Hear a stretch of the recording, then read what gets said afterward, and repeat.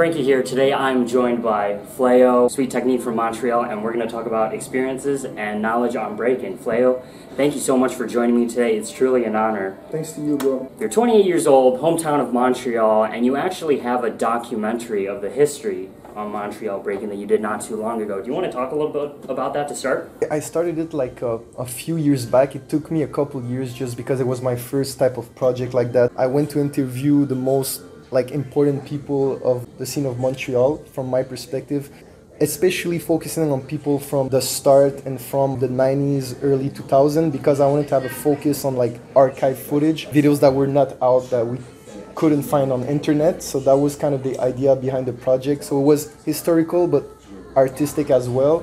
I wanted to present basically what was the scene what was the, the good the bad point the struggles the important uh, cultural aspect of our scene.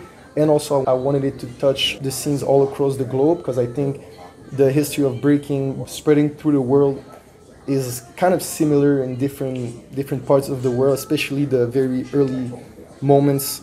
So I want it to be something where people can really relate and learn from it, have fun enjoying it, like just lay back, watch footage, nice music, and also have a little um, insight of our specific scene. So let's talk about a few things there. First of all, yeah, the documentary, if you watch through the whole thing and its flow, the piece itself is a is a piece of art, you know. Thank you. Absolutely. And the second thing, I like your choice of words when you talk about how you know, we're all in different geographies. We may have our lifestyle and cultural differences, but there are certainly parallels from scene to scene that everyone can relate to, right? Yeah, yeah, yeah basically we all have our differences but what really kind of ties everything together is breaking itself like the art form and like different sources of inspiration. Nowadays with youtube it's even more clear. We can all take what we like from it and bring our own brick to the wall. That's a french saying but basically we can give something back, but after we kind of see everything that, that's been around before us, you know? Fantastic. Absolutely recommend that to anyone who has really any connection to breaking. So we're gonna, yeah, absolutely. So we're gonna move on here. So the first clip we're gonna watch, 2012. I was growing into my style, I feel. Thoughts were bubbling in my mind like crazy. Motivation, passion, like in a moment where I could break every day for three hours, don't stretch, don't uh, warm up. Of course, that's bad, but I would run from school, go to train. I was with my friend Promo in this footage, okay. but since I'm a bit narcissistic, I just made a, recap of myself. But he was there being crazy fresh too. The quality of it, that's another topic that we can discuss after. My creative process, I think, was in a good spot at that moment. For example, I was in the bus going home or whatever, I was always thinking about breaking.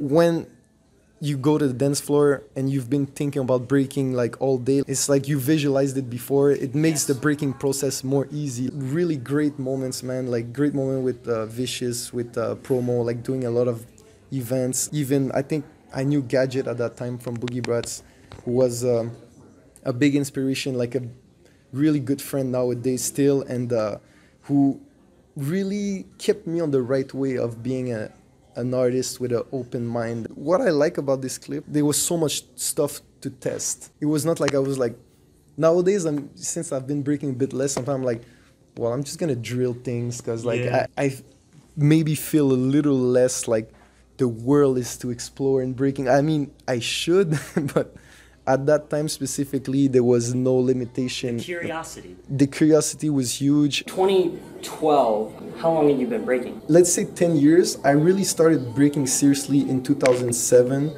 like i learned windmill in 2007 but i've been breaking since 2012 okay. Uh, since my bad since 2002 sorry. Gotcha. and i was born in 95 so in 2012 what 17 so i've been 17 in that even though i look 14 you know, even as you're describing, you know, 10 years you've been at least exposed to breaking, five years you're serious, yeah. like even then it's that much time and effort to accumulate before you have what you're describing, being able to make those connections, come to practice, and boom, boom, idea after idea, right? Yeah, the creative process, thinking with a breaking mind all the time, you can't force it. You have to work your way towards it, and it just comes at some point. So, yeah, that's can I get a soul clap? 2013 so one year later yes and it's already way different my breaking i feel from before battling with uh, promo vicious and uh, Gadget. It's pretty epic for me and memorable because we've been battling the three of us for a long time together, being like pretty close, living in the same city. And Nathan Gadget battled with us, and it meant so much for us because of the kind of big brother he became for us. So yeah, we felt such a strong connection battling together. We already won in our mind before we start, you know. A little bit like before, I have a lot of critics for my uh, form and everything. The rest, man, is is pretty uh, close to how I see breaking, what I like about breaking. I still connect strongly to that approach, straight to the point. I don't spend too much time like on top rock and musicality really. I just try to have it in mind, maybe use it at certain moments. French people they call it prépa top rock, which means preparation. That's a bit how I see it. What's going next that interests me? Put some original moves. I guess it's kind of move after move, but I try to also freestyle in between, trying to connect it naturally so it doesn't look redundant or all prepared, flowy and also opened and closed, trying to vary between different body shapes, vary between levels too. That approach is a bit more serious. I'm not trying to make a lot of faces and like trying to be entertaining for the whole family. Just like a old 1995 hip hop group, we want to show people what we can do like Stripe said, you're not trying to sell your moves like an old cars dealer, you know? That's the best car right there, man. Look, nah, like we don't need to oversell the moves, to oversell the approach. It's more on the low. It's the same concept when it comes to like you make moves that look easy, but they're actually really hard. When you do it, the way we present it is like yeah, fuck, it's just natural. We, but in reality, there's some work behind. So this is BC One back in 2014.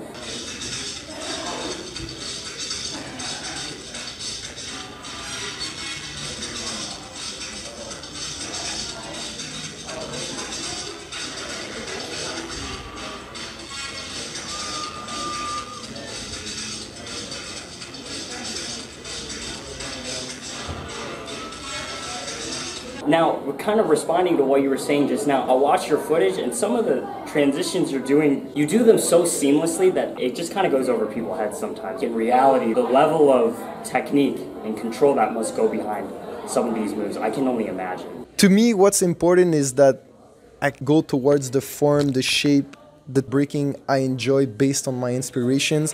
And I've received positive feedbacks from a bunch of them. So I'm really grateful for that. And that's what also pushes me. What I can say is that it's pretty challenging sometimes to have this approach in battles like that because you don't hear the yells because it's not made to elicit that you really have to kind of be in another zone and it really has to do with your confidence a little bit more content a little bit more on point the form a little bit better compared to the stuff we watched before everything that i do here I know I was practicing a lot. They don't have names, the moves, right? Okay, I have this, this, this I want to do, and then everything in between is just freestyle. It depends on type of people. I just go for myself. I know, like, I was not expecting to make people cheer. That was not what was in my heart when I was there. It was more like, I'm gonna defend my vision of breaking, probably more something like that. If you have an approach that's not meant to be on a big stage, then you need to really be on point I say that like I, I won. I didn't even win. Like I lost. But like those jams, man, they're like they're a game, and some people are more meant for that, or they enjoy it more. And me, it was more of a challenge. But I still like it. I like to prove something. Let's say. That's what keeps breaking. I feel like after all these years of dancing. There's so much mystery. There's always yeah. room to figure out how you can fit your pieces together to make it work. Yeah. You know, people feel like sometimes it's completely biased, it's all subject. Actually, sometimes everyone agrees one guy win, and sometimes we all agree one guy loses. So you got to make everyone agree that you were the best, and you can still do it with that style. Me, like at that time, I trusted my creativity and my abilities, even though it was not necessarily extreme, a lot of big power moves and all that. I just feel like I can make people relate. I can make people agree that I could be better than someone. It's not like a competition of creativity, but that is something that I would consider one of my strengths. This is 2018. This round was insane. We're gonna watch your first round. This is from FamFest.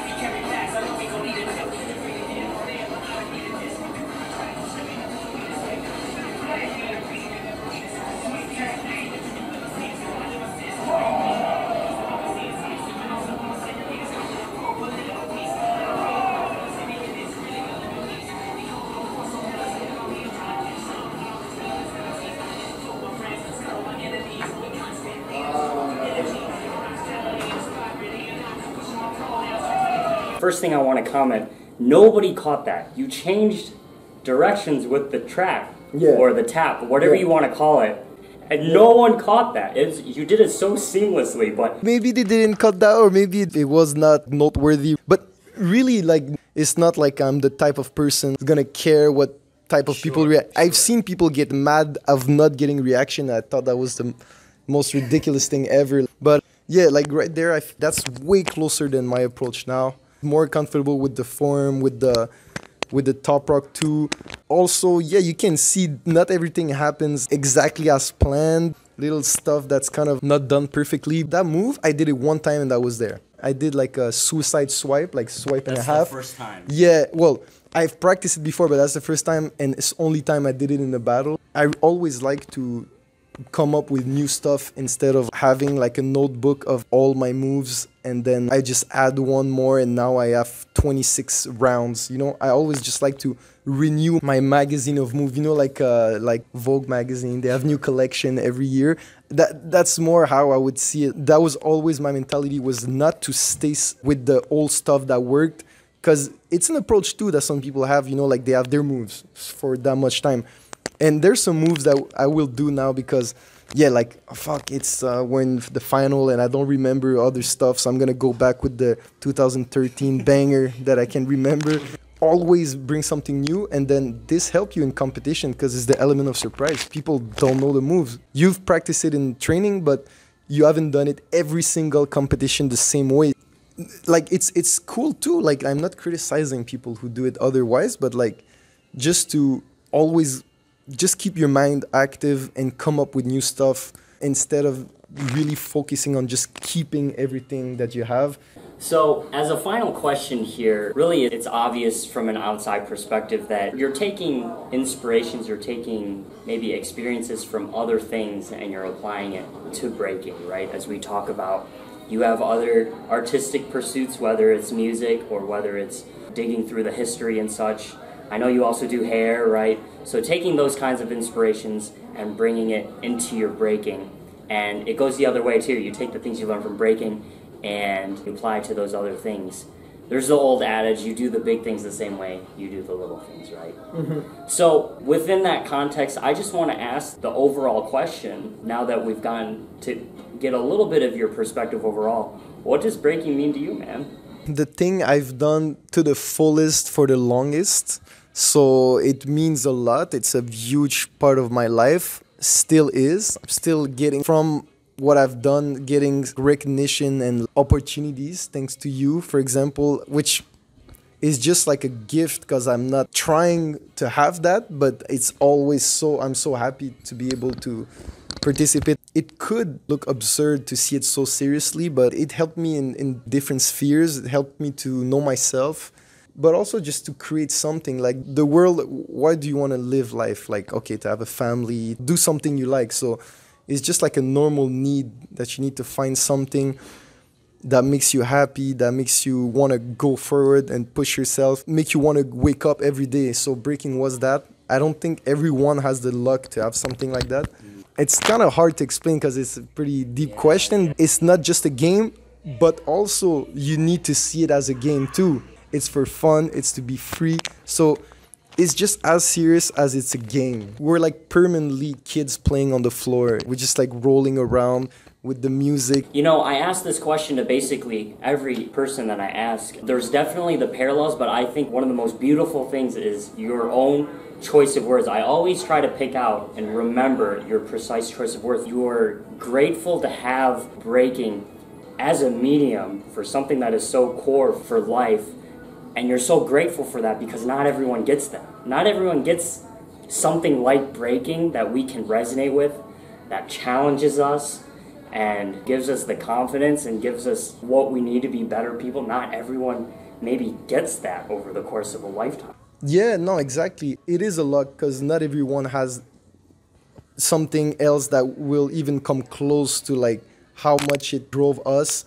Sports doesn't necessarily have that creative aspect, but it also has that physical component. That's really rare, that's unique, and it has that historical and cultural aspect onto it that's really important and then you learn about your taste that's really important too when you don't know what you like, you like everything.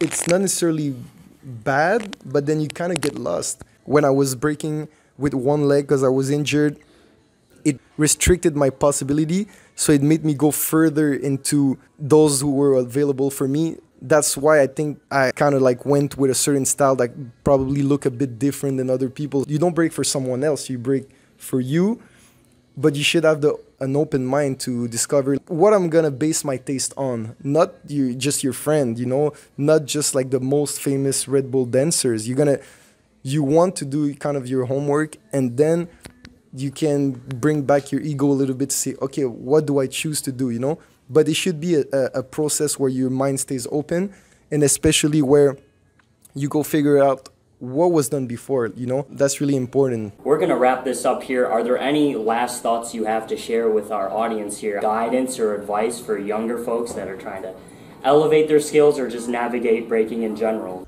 have an open mind be able to change your perspective. Also just you gotta break a lot work a lot. You know people who differentiate themselves nowadays that i know they break most of the time going through that that you're gonna like start developing your own creative ideas. Don't necessarily try to be super different to be so original just like that when you don't really know like the foundations. I think you will end up looking something that's completely different than breaking or look like everyone else who tries to skip the foundation part and just be original from the start. I'm not saying most people do that. I think people sometimes people do one or the other. They stay more in foundation or they just go more into not having such a nice form and they just trying to like look different. But I think it's you got to do both, and then it's okay if you have your own flavor, your own taste. Are you inspired by the style element guys, or from the flip side, or European, or from New York, whatever? Like besides that, you got to work a lot. And instead of asking someone how to do flair, you got to do flair. Try to do it the flair instead of saying, but I want to you know, like right, right. most things, you just got to do it over and over. And one, one last tip for getting better always go do your round knowing what you want to do better.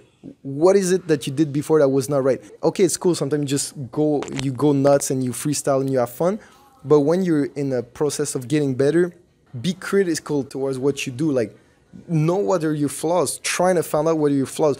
What does your main inspiration have or your people that you look up to do that you when you look at yourself like it's not that i want to be them but i kind of suck and they kind of look good. Maybe it's you have a flaw in your physical positioning. You're already improving in your head before you go to practice. Instead of asking people what you should do better or how you can do this move, since you have an opinion about what you like about breaking. What you're describing, practicing flair, for example, you probably already know yeah. what you need to do. You're, you're going to yeah. figure it out. You're to learn all the lessons you it's need. Not, it's not winning a jam that will make you good is doing the boring stuff well that will make you win the jam. Absolutely. The progress, so, the actual process of progress, it's not yeah, sexy at all. It's not it's not sexy. That's why you you already starting with the the mentality that oh, yeah, it's gonna be a, it's gonna be a challenge. There's some some work to do, and when you start as a kid, is more easy. The younger you start, the more time you have to go further. But there's no like age limit neither neither so. Absolutely. And the other thing you mentioned about being more perceptive